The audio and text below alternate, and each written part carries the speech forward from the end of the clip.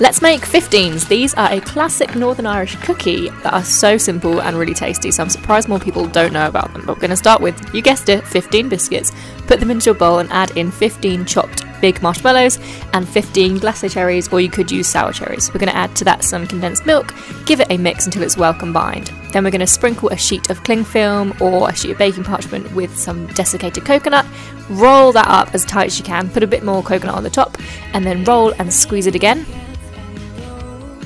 put it into the fridge for a couple of hours until it's nice and set. Then you're just going to slice it up into nice thick cookies. It should hold together really nicely, and it honestly is so delicious. It's a little bit cheesecakey. It's got really good flavour, and you can add in whatever you like to the fillingy bits. Um, enjoy with a cup of tea.